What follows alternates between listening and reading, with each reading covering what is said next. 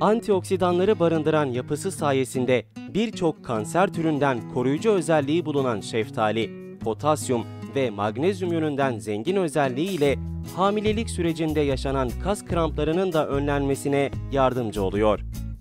Şeftalinin taze meyve olarak tüketilmesi dışında taze olarak sıkılarak suyunun içilmesi şeklinde de tercih edilebilir. Ya da reçel, marmelat ya da komposta yapılarak da çeşitli şekillerde tüketilebilmektedir.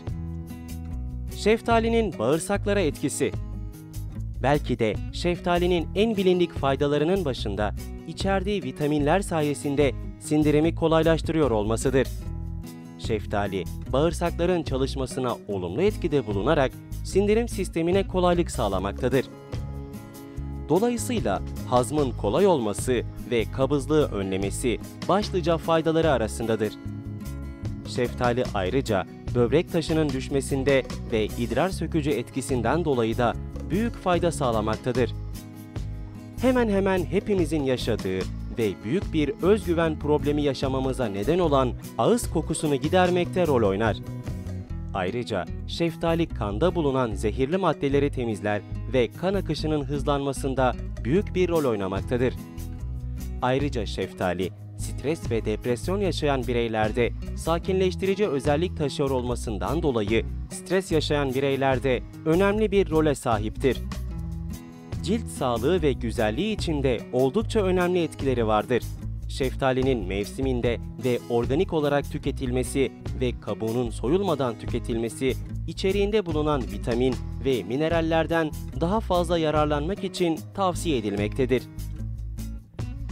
A vitamini, C vitamini, E vitamini, K vitamini, B1 vitamini, B2 vitamini, B3 vitamini, B6 vitamini, folat, pantotenik asit, kalsiyum, potasyum, magnezyum, demir, manganez, fosfor, çinko, bakır, antioksidanlar ve lif bakımından oldukça zengin olan şeftali, sağlıklı, parlak ve ışıl ışıl bir cilt içinde önem taşımaktadır.